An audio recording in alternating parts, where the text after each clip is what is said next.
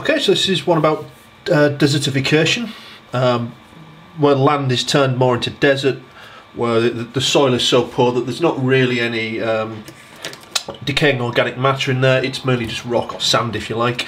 Um, notice it's one S for desert, don't put two S's in, that's dessert, and that's to do with cakes and custard.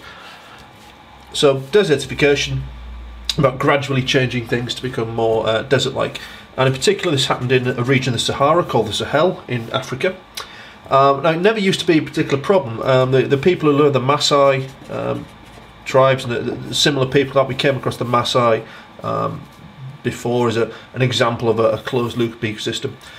What used to happen is these um, tribes used to move their herds of cattle around, so the cattle never used to stay in one place and eat all the crops and the grass and things. It was always moving on. Um, because they weren't staying in one place for too long, they weren't cutting down um, lots and lots of trees. As a result, the trees stayed there and they acted as a windbreak. Why is that important? If it's very windy, your soil can blow away, which isn't a good good thing. And they would also stabilise the soil as long as you've got trees there. Remember, stabilising the soil, keeping moisture, decaying uh, organic matter in there, and also providing um, somewhere to, to shelter and things from, from the heat. So by not cutting down the trees, that helped prevent desertification.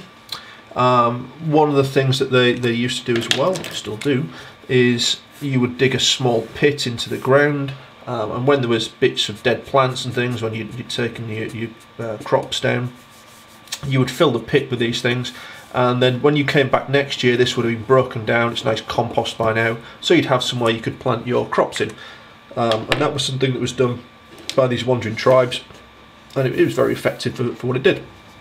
Now, the problem started to come in the 1970s when there was droughts, 1970s and 1980s. Now, droughts have happened throughout history. The problem is that because the population of the Earth is increasing, um, every year, every time there's a new drought, it's worse and worse because there are now more people um, relying on, on the rains to come. So, although these conditions have uh, occurred before, it's, it's getting worse and worse. And this is when desertification becomes more and more of a problem. So the, the modern communities around the Sahel, a lot of them become more and more settled. And once you've got settlements and you get towns and, and larger villages and things, um, resources suddenly become a lot more exploited. So you start to get over exploitation of resources. What kind of things are we talking about? Well, we could be talking here about overgrazing. So rather than your cattle, excuse me, uh, wandering around, they will stay in one place. So they will tend to eat all the available uh, vegetation. Of course, that's going to mean there's less uh, vegetation around to act as windbreaks, stabilise the soil, and so on. Um, you will also get a pressure to produce more food. So you want to do things that will increase your yield, which really means uh, intensive farming. Intensive farming is the model that's used in um, Western countries, which would use things like, there's a lot of colour today, um, herbicides to kill off uh, weeds, pesticides, um, of course, which can get into the food chain and cause bioaccumulation.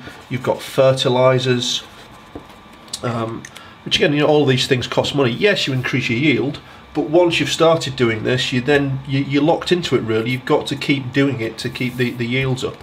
Um, because it tends to, to damage your soil. As soon as you start doing intensive farming, the soil tends to get um, used up a lot, which is why you have to keep putting fertilizers back in.